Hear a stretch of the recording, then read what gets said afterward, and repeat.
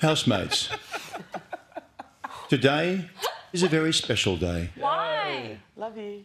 Mr. and Mrs. Big Brother are proud to announce the birth of their beautiful, bouncy daughter, Big Baby. Congratulations, I'm so happy Big Baby arrived after a tough birth, weighing in at 37.4 pounds and 5 feet in length. Beautiful, big brother. such a pretty Gorgeous. She's got your eyes.